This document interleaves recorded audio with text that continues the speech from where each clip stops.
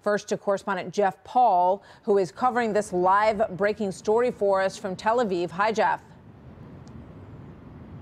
Yeah, Martha, and we're watching the images right now as we wait for those Red Cross vans and vehicles to cross into Israeli territory like we've seen over the past three days. So far, no confirmation of them making it into Israel yet, but they are on their way. But like we've seen in previous days, Martha, today had a few delays, and that really just speaks to just how fragile this deal is between Israel and Hamas. Not a lot of trust, obviously, between both sides. But here's what we know about the 11 who were released today. We know nine of them are kids.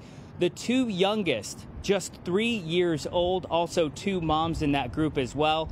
Just the day before, 14 Israelis made that same journey where they now join 26 other Israelis released in the previous days. Now, they're all in some sort of stage of treatment and recovery after spending roughly seven weeks, some more than 50 days, likely exclusively in the darkness of Hamas tunnels. However, there is still well more than 100 hostages that have yet to be released by Hamas. So, we could see more being freed over the next two days as Qatari officials broke the news a little while ago about extending the temporary truce. Israel had previously said that they would extend the pause in fighting by one day for every 10 additional Israeli hostages released. But keep in mind, once Hamas stops releasing hostages, Israeli forces will likely resume their combat operations in Gaza to both eliminate Hamas and rescue the remaining hostages.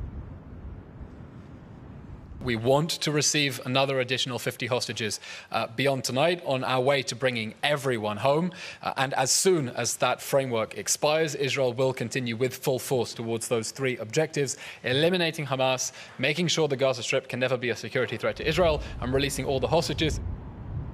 Now, we know more aid trucks made it into Gaza today as well, and we are awaiting confirmation that more than 30 Palestinian prisoners will be released from Israeli jails. Martha?